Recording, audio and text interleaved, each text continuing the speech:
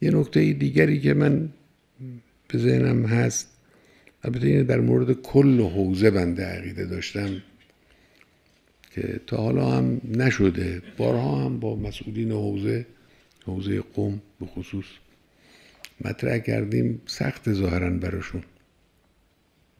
کسی که یک درسی رو می‌خونه به یک جایی می‌رسه این احتیاج به مدرک داره. این احتیاج به شهادت داره. اشتباه بزرگ این بود که آمدن این شهادت رو شهادت های شهادت های دانشگاهی مخلوط کردن. حالا اول که می‌خواستن اسمش دکترا بگذارند و پلان که غلط بود بعد معادل دکترا. این هیچ لزومی نداره.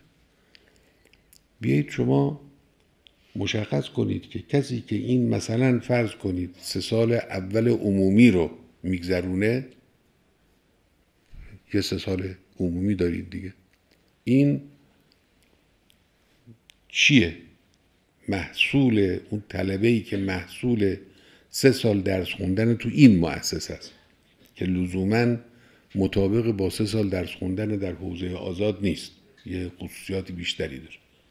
این اسمش چیه؟ یه اسمی براش معین کن. بعد یه سه سال دیگه شما دارید. که کار تخصصی در او می‌کنید اون کسی که اون سه سال رو گذروند یک صلاحیت هایی پیدا می‌کنه. برای اونم یک اسمی مشخص کنید و مؤسسه شهادت بده که این به این حد رسیده. بعد یک دو سال دارید که اون دو سال دو سال تحقیق و پژوهش و اینهاست. اون دو سال رو وقتی گذروندید یه صلاحیت های جدیدی پیدا می‌کنید.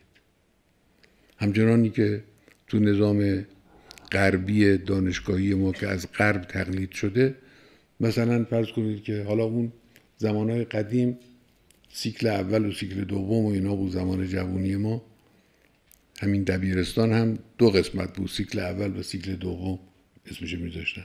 بعد دیپلم بعد مثلا لیسانس بعد فوق لیسانس بعد دکتری.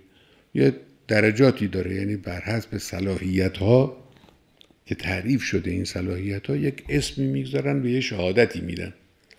شما بدون اینکه از اونا تقلید بکنید و بخواید انتباق بدید با اونا مطلقا به نظر من این کار جایز نیست که ما بیایم منطبق کنیم کار خودمون رو با اونها و بگیم مثلا این برابر دکتری است این برابر مثلا ارشد این برابر این اصلا معنی نداره. نوع کار اونا با نوع کار ما متفاوت. اما شما شهادتاتون مشخص کن. وقتی که اون دو سال آخر هشت سال را وقتی که شما انجام دادید یه صلاحیتی پیدا می‌کنید. این صلاحیت رو مشخص بکنید. یه شهادت بدید. به نظر من این کار خیلی خوبه فرض کنید حالا ما البته از قدیم داشتیم یه چنین چیزی. این اجازه اجتهادی که رایج بوده این همینه دیگه. یعنی طلبه به یه نقطه‌ای می‌رسه که مجتهد میشه. اجازه اجتهاد بهش می‌دادن. قدیم معمول بود اجازه اجتهاد می‌دادن بهش. یا اونی که در باب مثلا در حدیث پیشرفت می‌کرد و چی می‌کرد و اهل حدیث بود اونو مثلا اجازه حدیث روایت حدیث بهش می‌دادن نقل حدیث اجازه بهش می‌دادن. مثلا معمول بود. این کار. حالا ها متاسفانه نیست. حالا واقعا متاسفانه چون خیلی خوب بود اگر چنانچه بود. آقایون ملاحظه می‌کنن اجازه اجتهاد نمیدن به خاطر اینکه نبادا یه طبعه برش مترتب بشه. در حالی که نه میشه جوری هم عمل کرد که طبعی هم مترتب نشه. اما حالا شما خودتون این کار رو انجام بدید. یعنی اجازه یه شهادتی برای پلون مرحله از از کنم که چیز. این هم یه نکته.